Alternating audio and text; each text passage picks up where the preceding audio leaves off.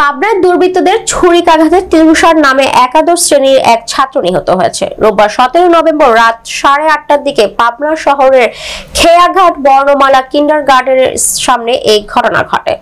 নিহত তুষার পাবনা শহরের রাধানগর এলাকার ময়দানপাড়া এলাকার আব্দুল মান্নান এর ছেলে ও পাবনা শহরের জুবলি স্কুল অ্যান্ড কলেজের একাদশ শ্রেণির ছাত্র।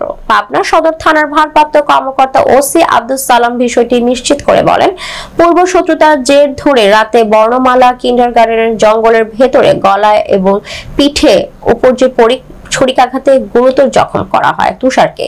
এ সময় আশঙ্কাজনক অবস্থায় হাসপাতালে নেয়ার পথে তার মৃত্যু হয়। মরদেহ উদ্ধার করে ময়না তদন্তের জন্য হাসপাতালে মর্গে পাঠানো হয়েছে। এই ঘটনায় তিনজনকে আটক করা হয়েছে বলে জানান ওসি। প্রয়োজনীয় আইনানুক ব্যবস্থা গ্রহণের কথা জানান পাবনা জেলা পুলিশ সুপার মোর্তাজা আলী খান। উল্লেখ্য, শনিবার ষোলো নভেম্বর সকালে পাবনার সদর উপজেলার হিমায়তপুর ইউনিয়নের মানসিক হাসপাতাল সংলগ্ন বেতেপাড়ায় প্রতিপক্ষের হামলায় জালাল উদ্দিন নামে এক বিএনপি কর্মীর মৃত্যু হয়।